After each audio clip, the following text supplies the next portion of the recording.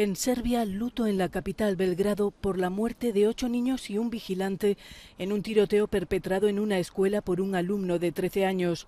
El atacante hirió a otros seis niños y a una profesora antes de ser detenido.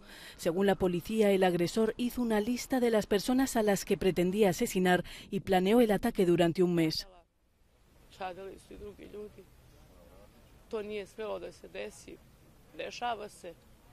Ali ljudski je reći, žao nam je i grozno. Srećnici da vaše dete živo, ali opet stavljam se u, u, u, u ulogu tih roditelja koji su decu izgubili za uvek. Ne znam šta da kažem. Ovo nije u duhu našeg društva i ovo se prvi put desilo. El atacante llevaba dos armas, tres cargadores y cuatro cócteles Molotov. La matanza ha conmocionado a todo el mundo provocando el debate sobre el control de armas.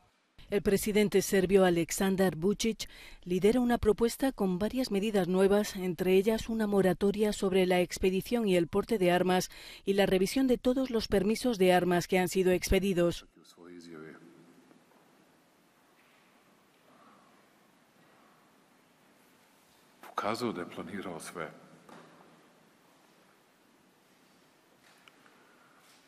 On je to na čudan. Što ne možete da objasnite nikome od onih koji su izgubili svoju decu.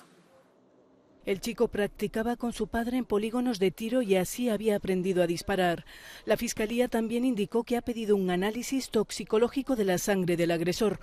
Un estudio reciente sitúa a Serbia en el tercer puesto de la clasificación de armas de fuego en circulación, con 39 armas por cada 100 habitantes.